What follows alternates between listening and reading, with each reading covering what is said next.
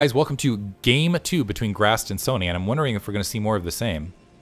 This is on Shakuras Plateau, bottom left-hand corner. We have Grast starting as the light blue Protoss. Upper right-hand corner, we have Sony. Sorry, wrong colors. It's because, doesn't that look blue? It's with the, whatever. Anyway, no, he's actually the, it's almost like a color flip.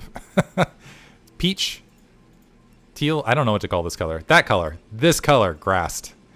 I'll call it like skin tone, some color. It's like, yeah, I'll, I'll stick with peach. It's an odd color. Upper right hand corner, we have Sony starting as the blue Zerg. And after, yeah, quick win for Grast in the previous match. I wonder with the effectiveness of that mat of, of that in game one, if he's going to just go ahead and opt for more of the same. However, I take it back. We've got a four pool, five pool for Sony comparatively. So he wants to, he's like, okay, you're going to two gate me. I'm going to five pool you. A very risky build on this map for two reasons. One, it's four player. And so you need to, you're kind of playing one out of three odds. Sometimes you do need that. I guess it, I feel like the, the five pool is the best on three player maps. Drone moving out. This drone needs, is going to scout, hopefully the upper left.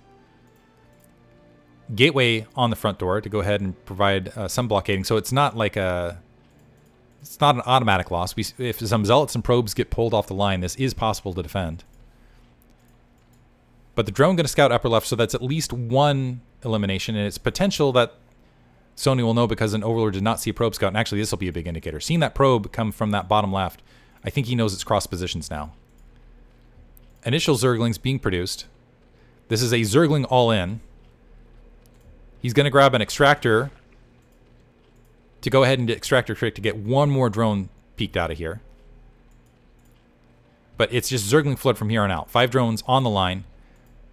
Grast now sees it coming. Needs to actually blockade his front with something. Perhaps get a forge down. He is building a, a forge in his main. And pull and pull probes to go ahead and defend this. Drone already starting to work on that pylon. It's getting free attacked by that probe right there. The Zerglings are incoming. Another pylon warping down just so the single pylon loss doesn't result in a game ender. The Zealot trying to sit in this gap. Well played by Grast thus far. The Zealot not attacking, on hold position, not attacking that drone. The Zerglings not getting a lot accomplished here. Just four Zerglings. Able to get one probe there. Not quite able to get the second. Some nice defense here from Grast. This is textbook how you how you defend this, by the way. Looks like he got another probe killed. Second Zealot's on the way, and once the second Zealot's here, that's going to be it for this attack.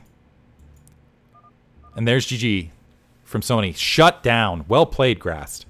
So Sony, COVID riddled and all, uh, ends up dropping out of BSL, which is unfortunate. Wanted to see him uh, continue. But the finals match is now going to be between Grast and Mihalic to see who advances to the round of eight. Hope you guys enjoyed it. Thanks for listening.